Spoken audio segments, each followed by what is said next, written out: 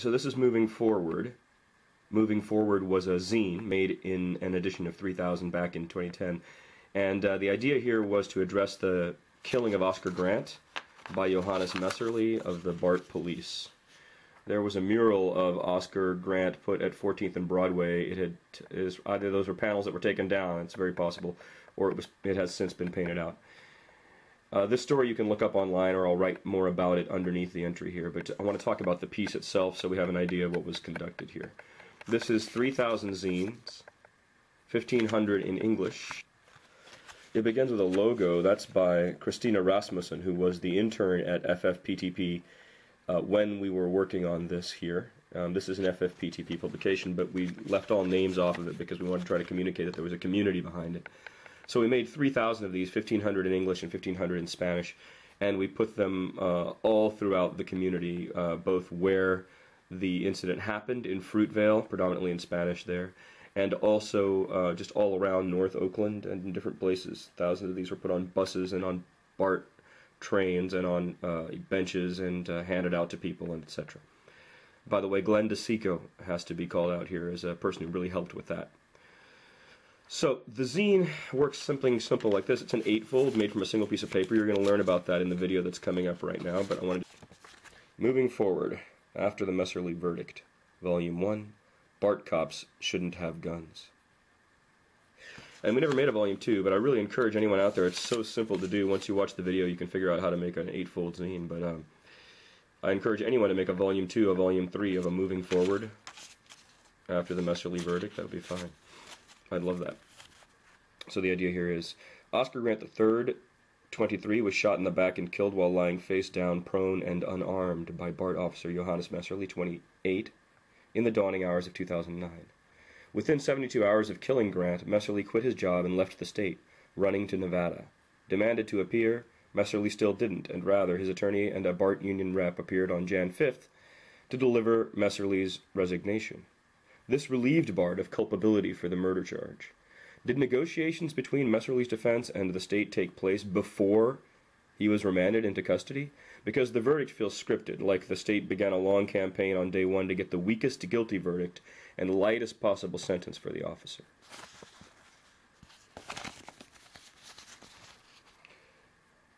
The trial was moved out of the neighborhood in what must be considered a pattern. Diallo versus NYPD, the case went from the Bronx to Albany. The state moved the trial to a supposedly neutral location that's better for the officers. What keeps coming up is that officers in these cases do not live where they are policing. They come from suburbs to cities to police, are poorly trained, and often exhibit cultural ignorance of or even bias against the people they police. Juries of their peers share this ignorance and bias. The state introduces the mental state of the officer to the public far more than that of the victim, and does this through the state's collusion with the media. Local cops, TV stations, and newspapers collude morally, ethically, and racially to create the illusion of a balanced coverage, but which subtly turns public opinion toward an acquittal, gently pushing us all to call it a justified killing, to keep us safe.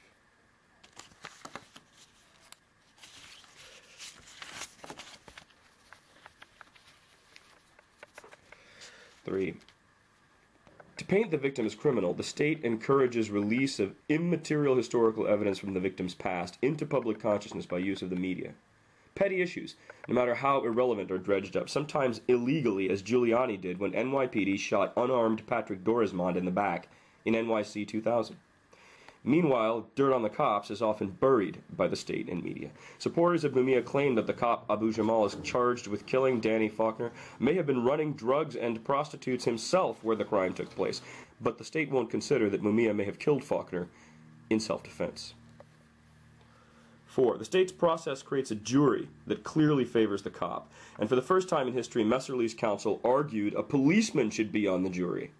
It's against the Constitution to put a cop in a juror's box. They're a part of and empowered specially by the justice system. They can't be on a jury, so of course the judge denied. But Mehserle's defense made the crazy request in pretrial hearings, and it was publicized across the state. In the Sac Bee, a writer quoted a criminal law attorney calling it, quote, a smart move. It is alleged that six of the 12 jurors in Mehserle's trial had law enforcement connections. Is an all cop jury next? Look.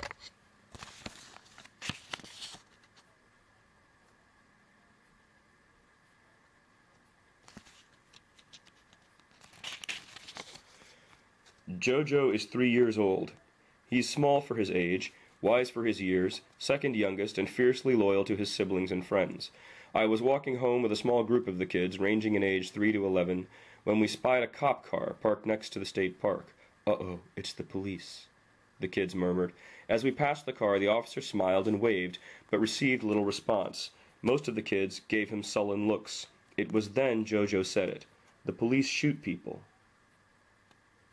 Jojo's only three, yet he was savvy enough to say it under his breath. But the kids all heard it. A three year old's four little words that spoke underlying feelings of so many here, a year and a half after the senseless killing of Oscar Grant. We ask you to hear one of the littlest kids in the East Bay in summer of 2010, after the guilty cop verdict, and no, the cops are overarmed and undertrained. We need to take some of their guns away. The cops are overarmed and undertrained. We need to take some of their guns away. Let's start with Bart. The jury indicted Johannes Mehserle for involuntary manslaughter. They felt Mehserle honestly made a mistake in killing Grant. But importantly, they included a charge for the use of the gun in Grant's death. The gun enhancement is clear. The jury placed blame for Oscar's death on the gun. They said that because Mehserle used the gun, and not the taser, for example, Oscar Grant is dead. The way to ensure this horrible mistake doesn't happen again is to take the gun out of the equation on BART. BART cops have cuffs, truncheons, pepper spray, and tasers. There's CCTV at most stations and on all trains. The fact is, there's no good reason for a BART cop to have a gun.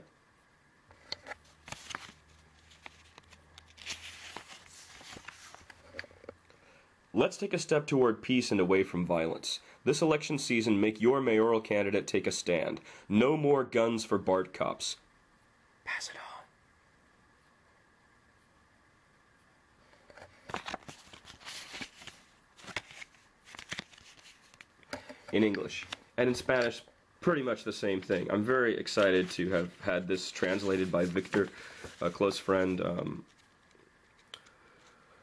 I'm not going to give his full name here, but you can ask about that anytime. Mirando hacia adelante después del veredicto del oficial Messer. Volume 1, Bar Policia no debería portar armas. Forgive my poor Spanish. So 3,000, 1,500 in Spanish, 1,500 in English. Moving forward. FFPTP 50 Foot Pine Tree Press, 2010.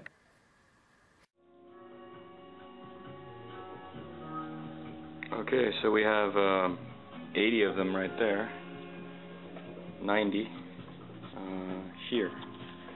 There's 90 of them. And uh, this is the single piece of paper that makes them right here. Right? Front and back. So what happens is you just fold it. I'll do this with one hand. Let's see if I can. I've been doing so many. First this way, this way, right, and then this way. And the result gets a cover. The cover is a simple thing like that, and you end up with the piece. So, so after the folds, it looks like this, right, without a cover. The cover comes in then.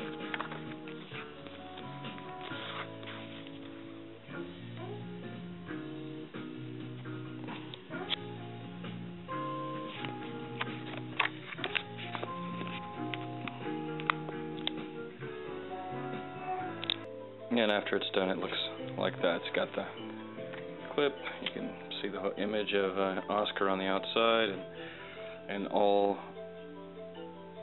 cop jury in the centerfold. And our little Bart logo. No guns on Bart. Moving forward, after the Mehserle verdict. Volume 1, Bart cops shouldn't have guns. So there we go. We got a hundred of those, or we're going to have a hundred of those in just a few minutes here.